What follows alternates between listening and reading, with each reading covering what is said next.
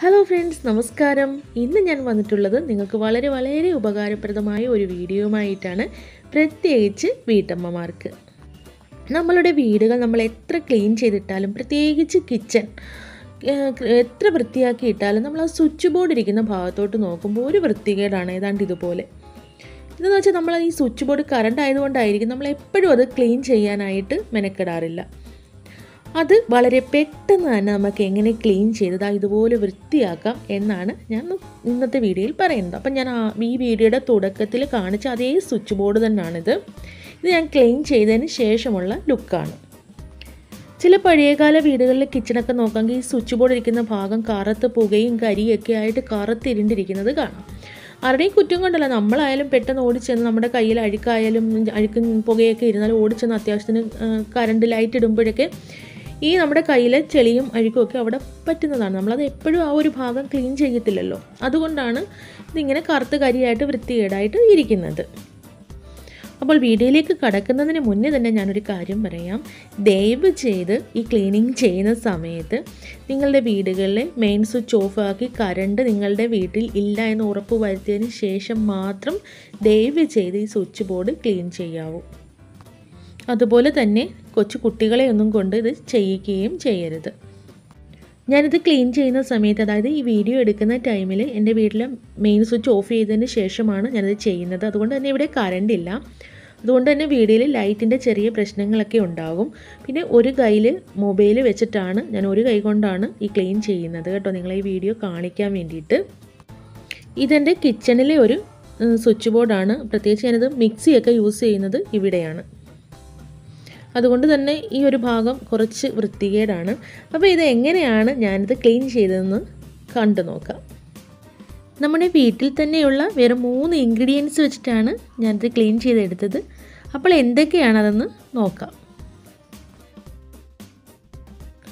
ആദ്യം നമുക്ക് baking soda വേണം. പിന്നെ നമുക്ക് വേണ്ടത് പാത്രം കഴുകുന്ന ഏതെങ്കിലും ഒരു ലിക്വിഡ് മതി. ഞാനിവിടെ പ്രില്ലാണ് എടുത്തത്. പിന്നെ നമുക്ക് വൈറ്റ് വിനീഗർ വേണം. ഇത്രയും മൂന്ന് ഇൻഗ്രീഡിയൻസ് ആണ് നമുക്ക് ആവശ്യമുള്ളത്. അപ്പോൾ നമുക്കൊരു പാത്രം എടുക്കാം. അതിലേക്ക് തന്നെ ഒരു ടീസ്പൂൺ ബേക്കിംഗ് സോഡ ഇട്ട് കൊടുക്കുകയാണ്.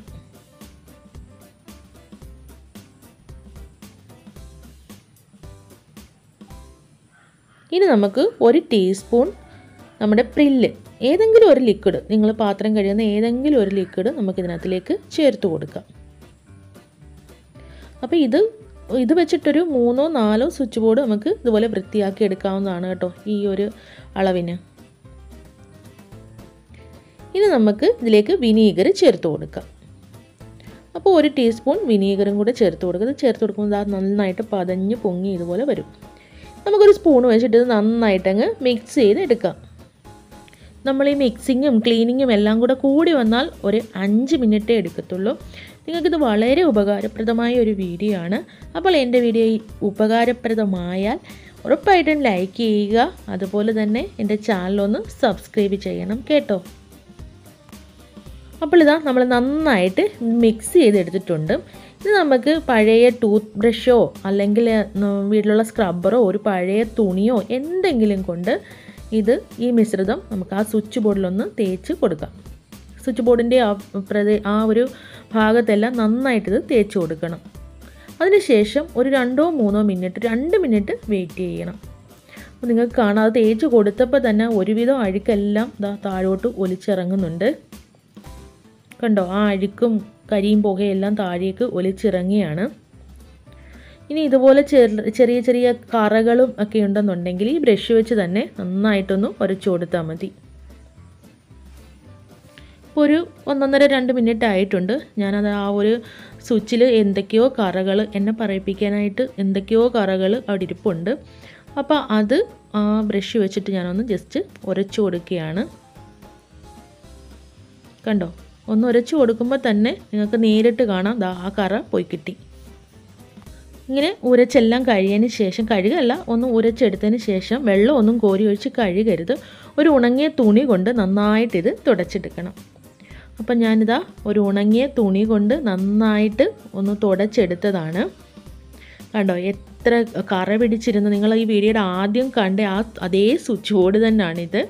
കറ പിടിച്ച് വൃത്തികേടായിട്ട് അഴുക്കായിട്ടിരുന്ന ഒരു സ്വിച്ച് ബോർഡാണ് ഇപ്പോൾ നോക്കൂ എത്ര വൃത്തിയായിട്ടുണ്ടെന്ന് വെറും രണ്ടോ മൂന്നോ മിനിറ്റ് മതി നമുക്കിതൊന്ന് അടിപൊളിയായിട്ട് വൃത്തിയാക്കി എടുക്കാനായിട്ട്. അപ്പോൾ ഒരു രണ്ട് മാസം ഒരു മാസം രണ്ട് മാസമൊക്കെ കൂടുമ്പോൾ ഇതുപോലെ ക്ലീൻ ചെയ്തെടുത്താൽ മതി. നിങ്ങളുടെ കിച്ചണിലെ ആയാലും ബാത്റൂമിലെ ആയാലും റൂമിലെ ആയാലും ഏത് വൃത്തിയായിട്ട് അഴുക്ക് പിടിച്ചിരിക്കുന്ന സ്വിച്ച് ബോർഡായാലും ഇതുപോലെ അടിപൊളിയാക്കി എടുക്കാൻ പറ്റും. അപ്പോൾ ഇതുപോലെ ഉപകാരപ്രദമായ വേറൊരു വീഡിയോയും വരാം. എല്ലാവർക്കും നന്ദി.